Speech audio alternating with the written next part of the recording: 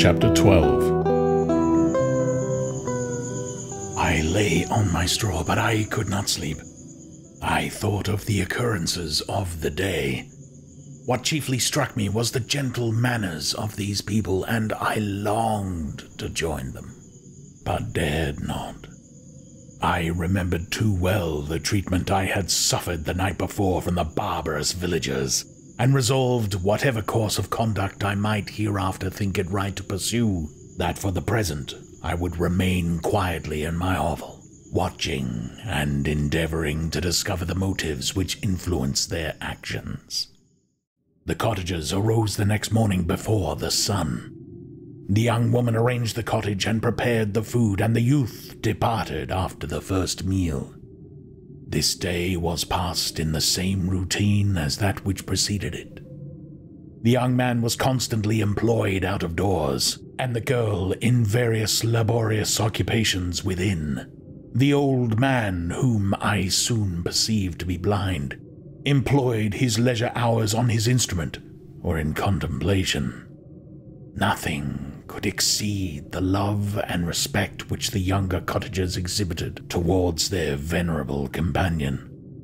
They performed towards him every little office of affection and duty with gentleness, and he rewarded them by his benevolent smiles. They were not entirely happy. The young man and his companion often went apart and appeared to weep. I saw no cause for their unhappiness, but I was deeply affected by it. If such lovely creatures were miserable, it was less strange that I, an imperfect and solitary being, should be wretched. Yet why were these gentle beings unhappy? They possessed a delightful house, for such it was in my eyes, and every luxury.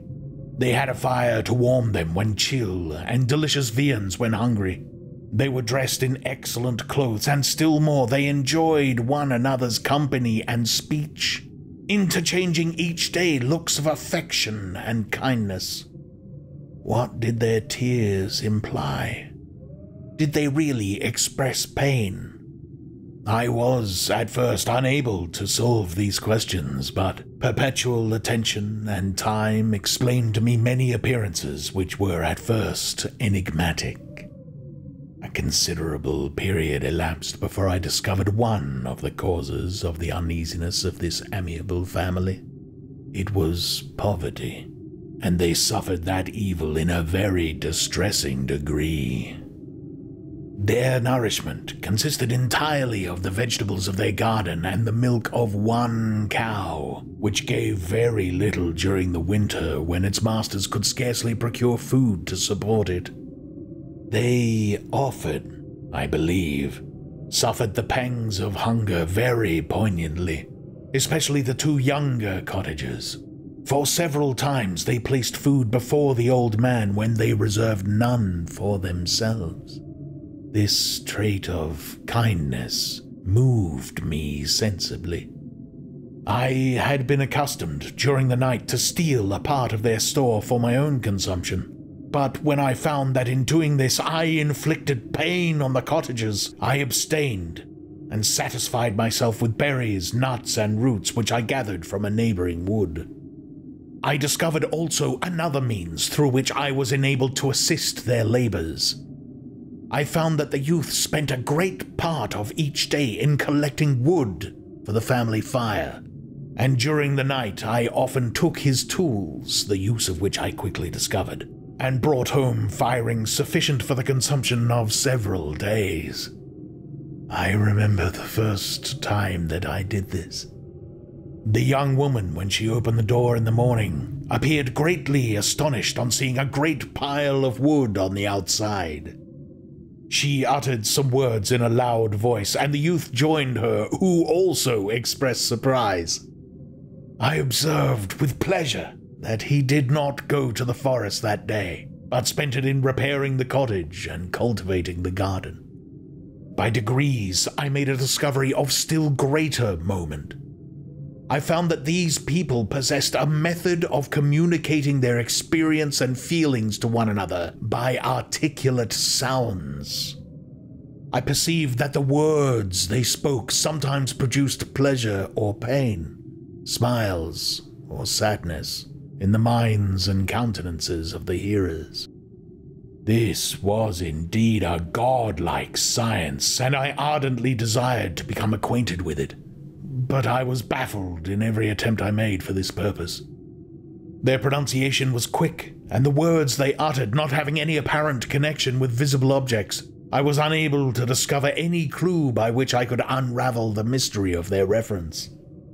By great application, however, and after having remained during the space of several revolutions of the moon in my hovel, I discovered the names that were given to some of the most familiar objects of discourse. I learned and applied the words fire, milk, bread, and wood. I learned also the names of the cottages themselves. The youth and his companion had each of them several names, but the old man had only one, which was Father. The girl was called Sister or Agatha, and the youth Felix, brother or son. I cannot describe the delight I felt when I learned the ideas appropriated to each of these sounds and was able to pronounce them.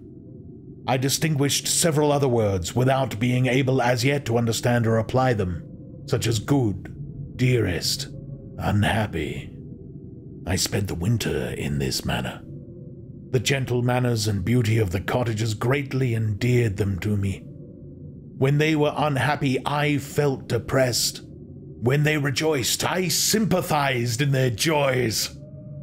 I saw few human beings besides them, and if any other happened to enter the cottage, their harsh manners and rude gait only enhanced to me the superior accomplishments of my friends. The old man, I could perceive, often endeavored to encourage his children, as sometimes I found that he called them, to cast off their melancholy he would talk in a cheerful accent, with an expression of goodness that bestowed pleasure even upon me. Agatha listened with respect, her eyes sometimes filled with tears, which she endeavored to wipe away unperceived. But I generally found that her countenance and tone were more cheerful after having listened to the exhortations of her father. It was not thus with Felix.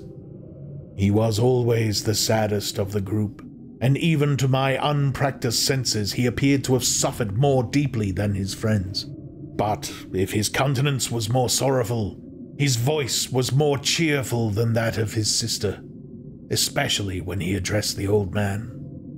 I could mention innumerable instances which, although slight, marked the dispositions of these amiable cottagers. In the midst of poverty and want, Felix carried with pleasure to his sister the first little white flower that peeped out from beneath the snowy ground. Early in the morning, before she had risen, he cleared away the snow that obstructed her path to the milk house, drew water from the well, and brought the wood from the outhouse, where, to his perpetual astonishment, he found his store always replenished by an invisible hand.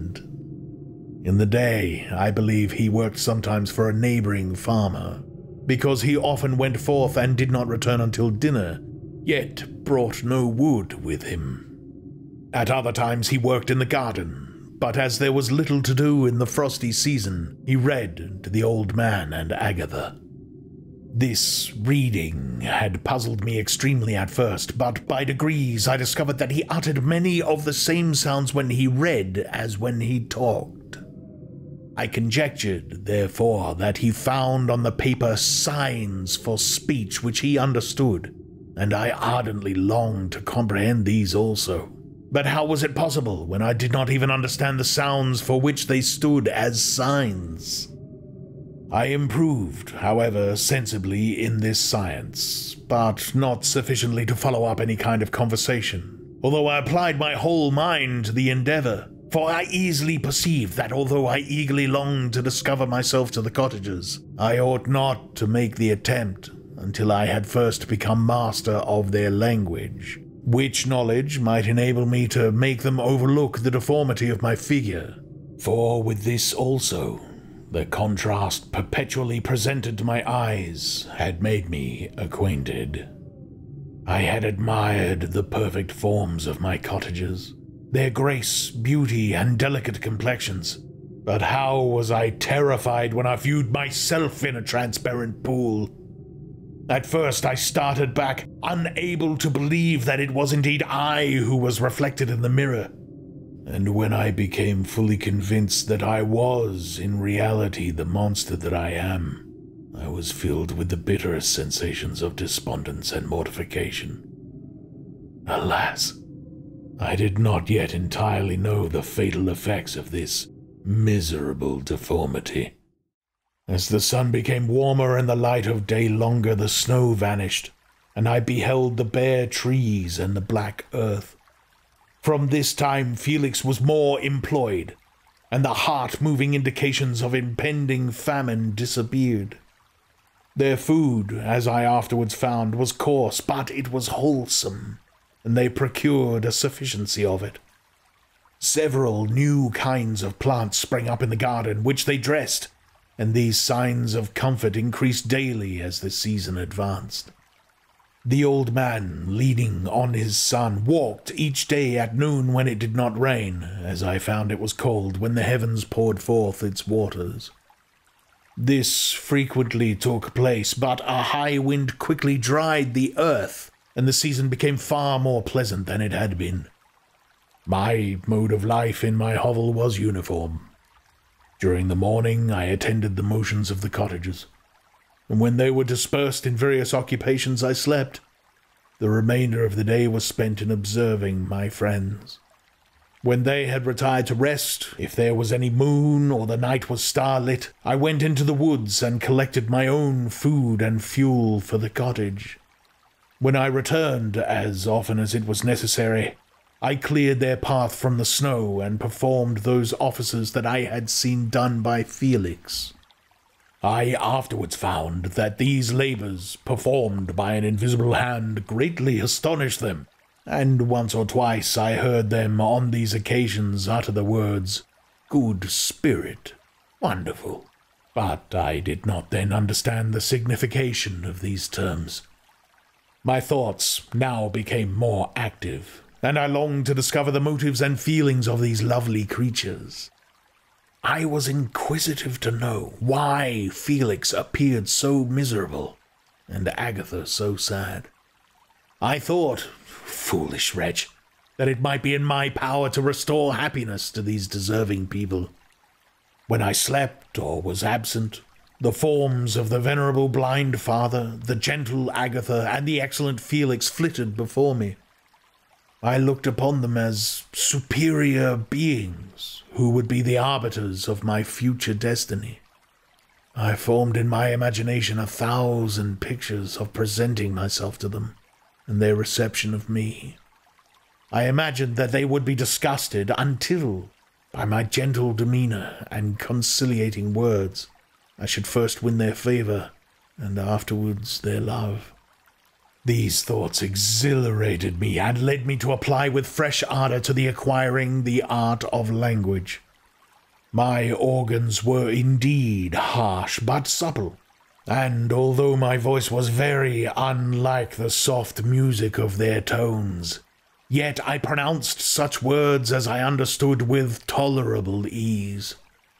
It was as the ass and the lapdog, yet Surely the gentle ass, whose intentions were affectionate, although his manners were rude, deserved better treatment than blows and execration. The pleasant showers and genial warmth of spring greatly altered the aspect of the earth. Men who before this change seemed to have been hid in caves dispersed themselves and were employed in various arts of cultivation. The birds sang in more cheerful notes, and the leaves began to bud forth on the trees. Happy, happy earth! Fit habitation for gods, which so short a time before was bleak, damp, and unwholesome. My spirits were elevated by the enchanting appearance of nature, The past was blotted from my memory. The present was tranquil, and the future gilded by bright rays of hope and anticipation of joy.